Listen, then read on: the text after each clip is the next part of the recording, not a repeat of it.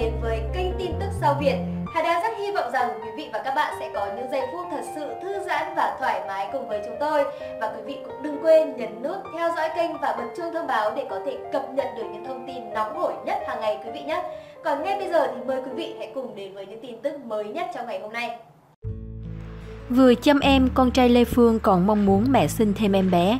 Nữ diễn viên rất hài lòng khi thấy cậu con trai 8 tuổi này rất hiểu chuyện và có thể phụ giúp em trong nôm em gái nhỏ. Lê Phương là một trong những diễn viên quen thuộc. Trong các bộ phim truyền hình, khoảng một năm trở lại đây, cô tạm gác công việc để dành thời gian mang thai sinh con gái thứ hai. Hiện tại người đẹp vẫn chưa quay lại với công việc, vợ chồng cô vẫn di chuyển giữa hai nơi Trà Vinh, Sài Gòn để gần gũi các con. Khu mạnh 4 thành viên mà cô khoe trong dịp Tết 2020. Con trai Lê Phương giúp mẹ trong em gái. Mới đây nhất trên trang cá nhân, nữ diễn viên Hạnh Phúc khoe khung ảnh hai nhóc tỳ đáng yêu. Nhiều người bất ngờ khi thấy cà pháo có thể bế em bông khá khéo léo, lại còn cho uống sữa. Lê Phương tâm sự, hồi đó mẹ nói mẹ xin em, con thích không? Anh hai lắc đầu quay quậy, miệng liên tục bảo con không chịu, không chịu. Giờ thì lại thủ thỉ mẹ ơi mẹ xin thêm em nữa đi mẹ, em dễ thương quá à, con cho mẹ xin em là đúng luôn. Nhìn tấm hình là biết anh hai thương em bông thế nào rồi, em đang khóc mà giữ em ngọt sớt, chọc cười ngon ơ, cứ chạy theo nghẹ, xin được ẩm em. Mẹ đã thương lại càng thương anh hai, còn em bông chỉ thua anh hai là nước mắt của mẹ. Chiếc áo viền sọc bé bông đang diện chính là trang phục khi còn nhỏ của cà pháo, rồi cũng có một ngày cậu bé trong ảnh lớn lên và tay còn ôm một thành viên nhí khác. Chính nữ diễn viên cũng ngỡ ngàng khi thấy con trai có thể chơi đùa chăm em rất khéo léo.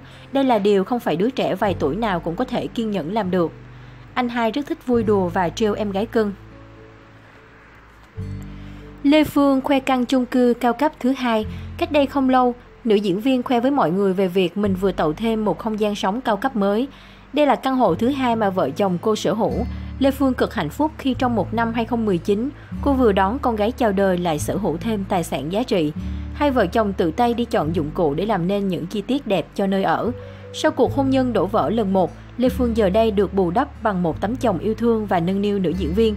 Trung Kiên vừa kinh doanh hải sản để có thêm kinh tế, vừa phụ vợ chăm sóc các con. Mỗi khi thấy chồng khéo léo lo lắng cho hai bé thì cô lại cảm thấy mình may mắn hơn.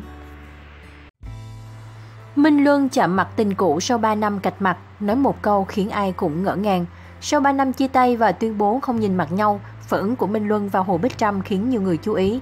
Sau 2 năm tập trung ca hát và lấn sân kinh doanh, tối 17 tháng 2, diễn viên Minh Luân đã có dịp tái ngộ khán giả màn ảnh nhỏ qua bộ phim Lời Nguyền lúc không giờ được phát sóng trên kênh truyền hình Vĩnh Long 1.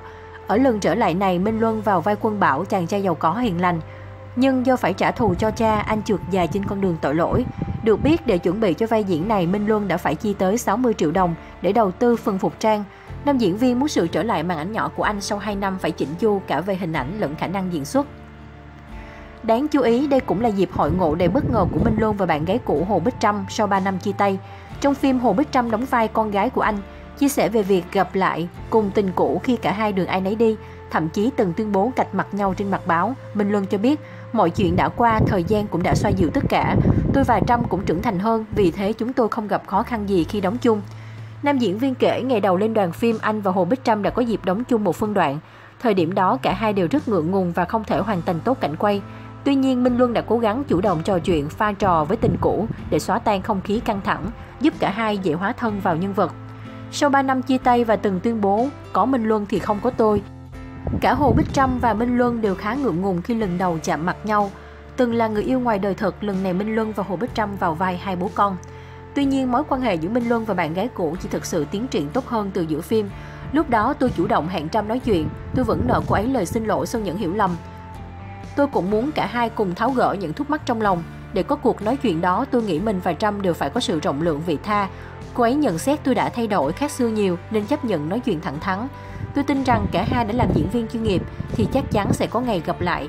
Dù thế nào tôi cũng không muốn cô ấy buồn hay giận mình, dù gì chúng tôi cũng đã từng yêu thương và dành tình cảm cho nhau, Minh Luân kể.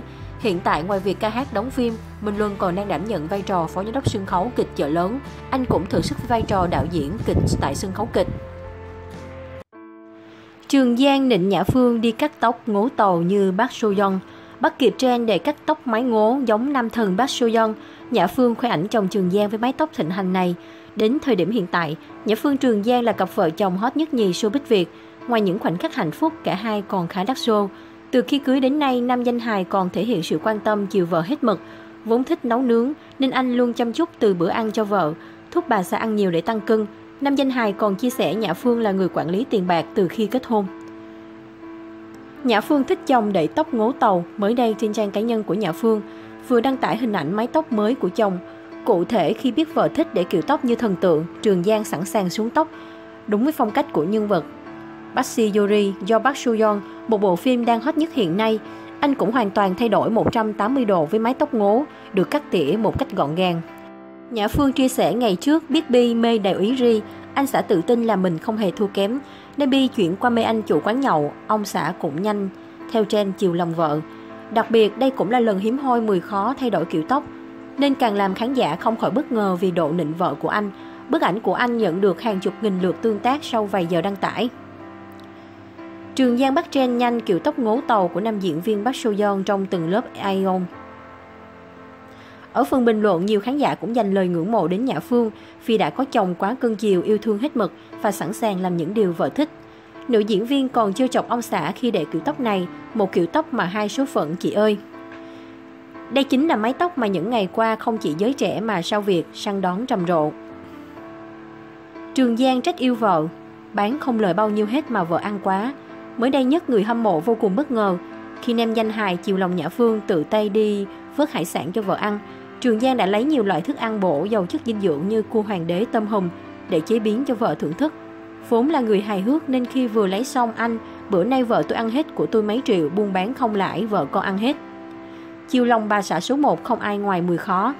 Nhã Phương còn hài hước tạo dáng chụp đồ ăn được chồng lấy cho mình. Vừa qua cả hai còn khiến người hâm mộ vô cùng ngưỡng mộ khi tung bộ ảnh kỷ niệm ngày Valentine cũng như hơn một năm về chung nhà. Đây có lẽ là bộ ảnh đầu tiên mà Nhã Phương muốn chụp lại những khoảnh khắc bình yên, vui vẻ bên người đàn ông yêu thương quan trọng nhất cuộc đời. Tránh dịch kiểu siêu giàu như Phạm Quỳnh Anh đưa con đến resort chục triệu, một đêm cả tuần. Đưa hai con đi 7 ngày chưa về, Phạm Quỳnh Anh cho biết cô đang cùng con qua mùa dịch thật đáng nhớ. Trong thời điểm trẻ nhỏ tạm thời nghỉ học vì dịch bệnh virus corona, rất nhiều nghệ sĩ trong showbiz Việt cũng vì vậy mà phải sắp xếp lại các hoạt động cho các quý tử, công chúa của gia đình. Nếu như đa phần trẻ đều ở nhà với bố mẹ hoặc phú nuôi, thì Tuệ Lâm và Tuệ An, hai cô con gái nhà Phạm Quỳnh Anh lại được đi trốn dịch siêu sang ở một khu resort 5 sao suốt cả tuần lễ. Với giá phòng biệt thự lên đến hơn chục triệu mỗi đêm, vậy nhưng Phạm Quỳnh Anh đã sẵn sàng móc hầu bao để cho các con được trốn dịch suốt 7 ngày trời. Phạm Quỳnh Anh mới đây đã phải thừa nhận mức độ tốn kém của chuyến đi trốn dịch này. Cùng các con đi qua mùa dịch cũng là một trải nghiệm đáng nhớ trong sự nghiệp làm mẹ. Dù có khả năng sắp gãy răng vì bị nghỉ dưỡng hơi kỹ quá, mà phòng ở thì không được miễn phí ngày nào. Tuy nhiên với bà mẹ đơn thân số tiền bỏ ra để bù lại thời gian ôm ấp, hôn, và ở bên các con cả ngày là hoàn toàn xứng đáng. Một ngày của ba mẹ con Phạm Quỳnh Anh giờ là ở nơi hoàn toàn yên tĩnh, vắng vẻ. Các bé được ăn ba bữa tắm biển hoặc hồ bơi hai lần, chiều chiều dắt nhau đi dạo và đạp xe. Có người nghĩ mình chả lo lắng gì, nhưng mà các mẹ ơi, chúng ta đang cùng trải qua một nỗi lo chung. Cuộc sống khó khăn đến đâu ta lại tìm cách đến đó. Quan trọng là phải vui vẻ lên, cố gắng bồi dưỡng sức khỏe tinh thần, suy nghĩ tích cực. Chọn lọc thông tin đúng nguồn gốc để đọc, tỉnh táo, không phải ai bảo gì cũng tin sái cổ. Sống trong sợ hãi lo lắng, tiếp cận thông tin tiêu cực quá nhiều, có khi lại mất đi sức đề kháng để chống lại virus. Bà mẹ đơn thân Phạm Quỳnh Anh chia sẻ quan điểm khi cho con đi du lịch 7 ngày không về giữa tâm dịch. Bố Tóc Tiên nhắn nhủ xúc động trong ngày con gái trở thành cô dâu. Phụ huynh của nữ ca sĩ đã đáp chuyến bay từ Mỹ về Việt Nam để có mặt trong ngày trọng đại như thế này. Vừa qua 20 tháng 2 2020, thông tin về đám cưới của Tóc Tiên và Hoàng Tulliver đã chiếm sóng hầu hết các diễn đàn, bởi lẽ ai cũng muốn được đón xem các thông tin về ngày vui này. Sau khi thực hiện nghi thức ở nhà thờ, thì cặp đôi đã chính thức tổ chức tiệc mừng vào buổi chiều cùng ngày ở một resort. Cặp đôi xuất hiện rạng rỡ sau khi thực hiện xong các nghi lễ tại nhà thờ. Bố Tóc Tiên nhắn nhủ con gái, ngoài những khách mời là dàn nghệ sĩ người nổi tiếng ekip trong showbiz Việt, thì bố của Tóc Tiên cũng nhanh chóng gây sự chú ý của mọi người. Ông đã đáp chuyến bay từ Mỹ về Việt Nam vào vài ngày trước để có mặt trong giây phút trọng đại nhất cuộc đời con gái đầu lòng. Tại đây, phụ huynh đã đứng trước mặt các quan khách để nhắn nhủ vài lời đến con gái. Ông xúc động cho biết mình luôn yêu thương Tóc Tiên và ủng hộ mọi quyết định của con. Ngoài ra, bố còn chúc con gái và con rể luôn hạnh phúc trong những ngày tháng tiếp theo. Bố của nữ ca sĩ diện vết đen khá bảnh bao, chiếc mắt kính giúp phụ huynh cô trông ngầu như con rể. Ông đại diện gia đình mẹ của Tóc Tiên trong tiệc vui hôm nay. Tóc Tiên diện váy cô dâu khoe vòng một gợi cảm. Vào khoảng hơn 16 giờ chiều, cô dâu chú rể cùng các quan khách đã có mặt sẵn sàng ở biệt thự để bắt đầu phần lễ và tiệc rượu cho đám cưới. Giọng ca có ai thương em như anh đã chọn cho mình chiếc váy cưới màu trắng bẹt phai, cổ khoét sau khoe vòng một gợi cảm. Tóc Tiên luôn nở nụ cười tươi rối thể hiện sự hạnh phúc.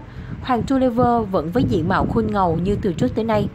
Sau 5 năm hẹn hò thì đến giây phút này cả hai chính thức gọi nhau bằng hai tiếng vợ chồng. Hy vọng họ sẽ sớm gửi đến công chúng những hình ảnh đẹp nhất trong lễ cưới.